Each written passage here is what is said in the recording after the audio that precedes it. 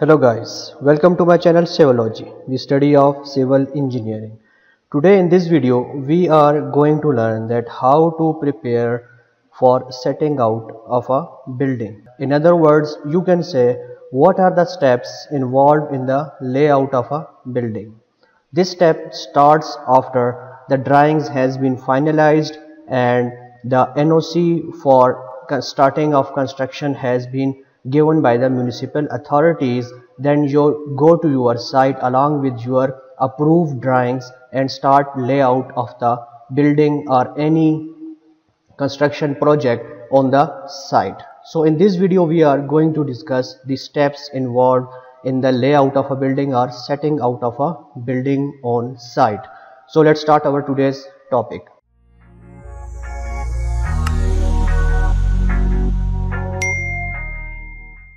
The first step is the site clearance. Before start of the any construction project, we need to clear the site. By clearance of the site, we means clearing and grubbing. Clearing and grubbing involves the removal of grass, trees, ant hills and hillocks etc. and removal of obstructions. By removal of obstructions, it means old foundations, old drainage works, septic tanks, drainage or water supply lines, underground electric telephone cables or electric poles. So these obstructions have to be removed before the starting of the project or starting construction phase of any project. The next step is cordoning of the site. Cordoning of the site is very important for the safety of the public and to avoid trespassers and there should be warning signs installed at a suitable place visible to every person or to or visible to public passing by okay? And it is also very important to protect against theft and robbery and such caution signs should be installed at suitable places. The third step is availability of utilities.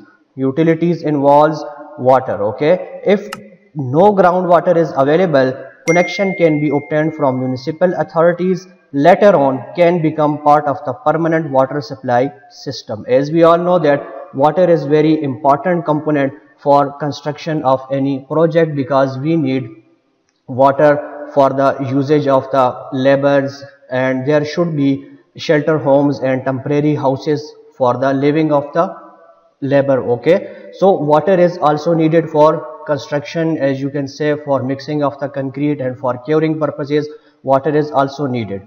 And temporary or permanent water storage tanks should be built for storing a sufficient quantity of the water. Or water can be obtained by water tanks and it should be clear. Water should be clean and clear. It should be free of any uh, impurities the drinkable water should be used for construction purposes okay?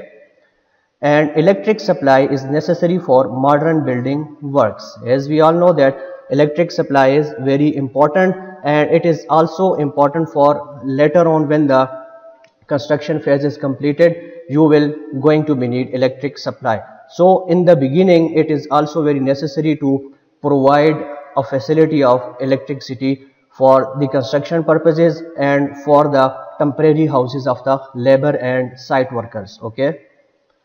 And the fourth and important point is matching of drawings with the site. The following checks should be made on the drawing from which the layout is to be carried out.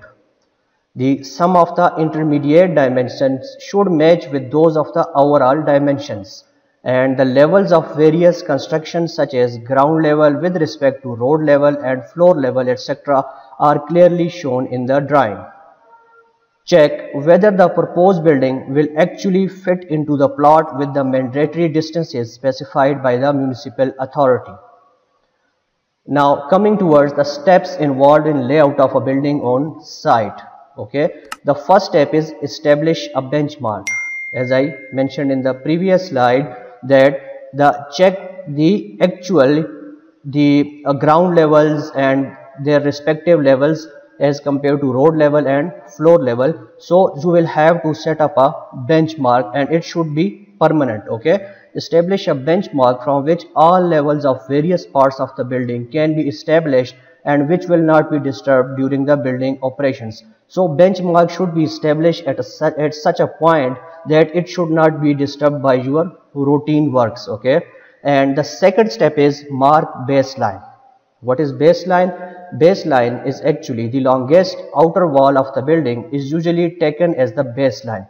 This is marked with respect to the boundary. As you can see over here if this is your boundary and this is the longest wall of your construction project or your building okay?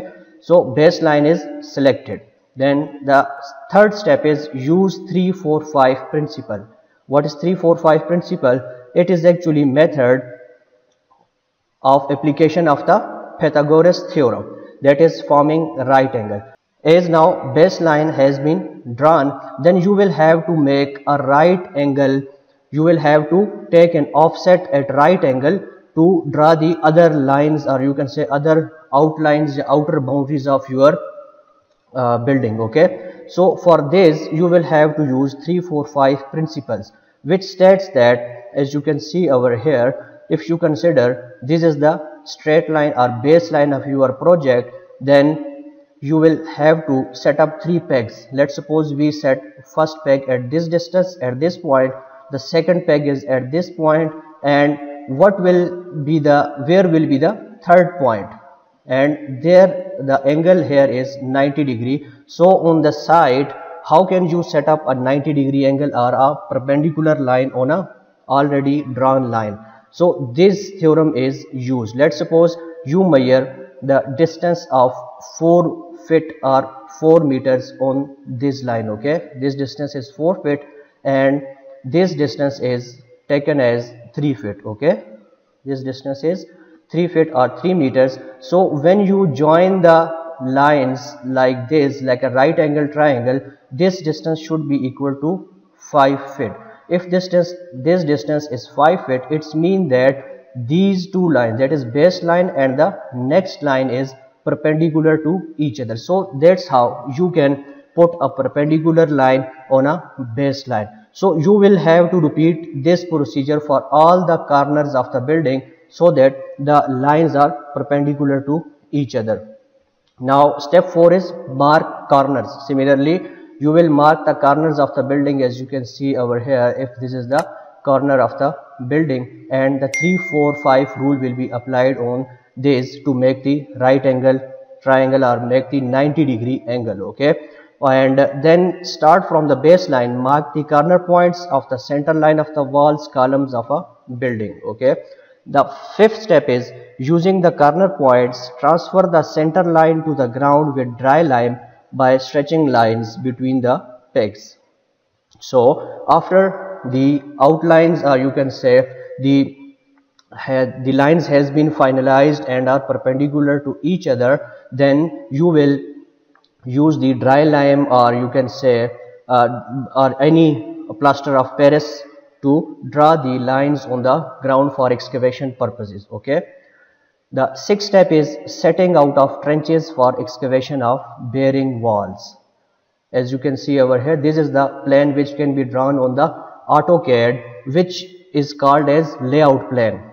In layout plan the details given are as you can see over here this is the column and the center to center distance of the column are given and the width of the bearing walls and or you can see uh, as you can see over here the distance of excavation is given over here which is 120 centimeter and the width of this excavation is 80 centimeter and this plan can be obtained easily from AutoCAD which is called as layout plan. Having set up the center line of the corners and checked the dimensions of the building on the ground, we proceed to set out the lines for trenches using the center line already established. Okay, so the first step involved in the layout of the uh, building project is to lay down the center lines. Okay, as you can see over here, you will lay down the center lines according to this plan given by an architect. Okay, so then the aim of setting out trenches is to mark the directions and